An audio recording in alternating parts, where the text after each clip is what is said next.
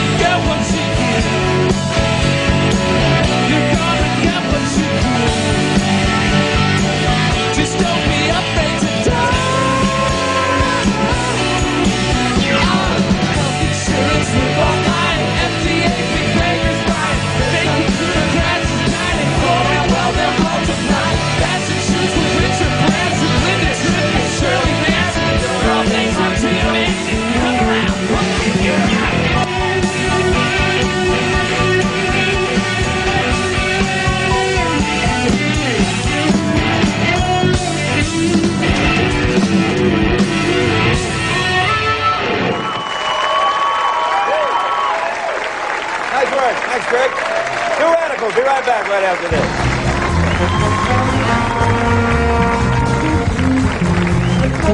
this.